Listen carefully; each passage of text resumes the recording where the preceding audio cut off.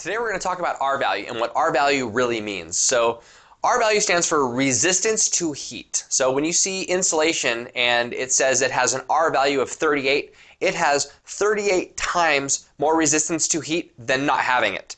So if you see another product that says R11, that's 11 times more than having nothing. The more R value you have, the higher resistance it is to heat. So all different products have different R values. Just to give you an example, dr uh, drywall is 0.5.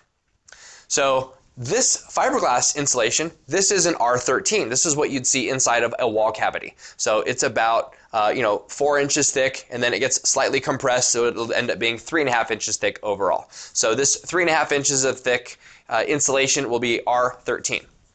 Um, there's a couple different ways to look at R value the manufacturer says, you know, you've got an R an R13 right there.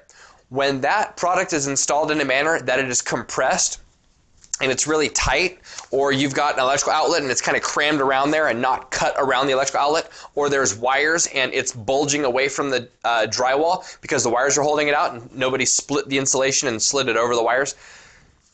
It might say that it's R13, but in reality, it's actually like an R7 or an R4, depending on how it was installed. So the actual number isn't most isn't necessarily the most important aspect of it. It's how it is installed. Uh, when you install a cellulose into a wall cavity, you can get a little bit higher R value than the fiberglass batts. It's a little bit more expensive to do, but uh, also it can hit pretty much every void. So the cellulose might say that it's an R value of 15, and if it was done poorly, it's more along the lines of 12. So it's still pretty high in comparison to you know what the manufacturer states. Uh, same thing with the uh, the fiberglass. If, if the fiberglass is blown into the walls, um, it has a better opportunity to be closer to its stated R value by the manufacturer because there's really not a great opportunity to do a poor installation with the blown in products versus the batts. I hope this video has been helpful. Please stay tuned for more.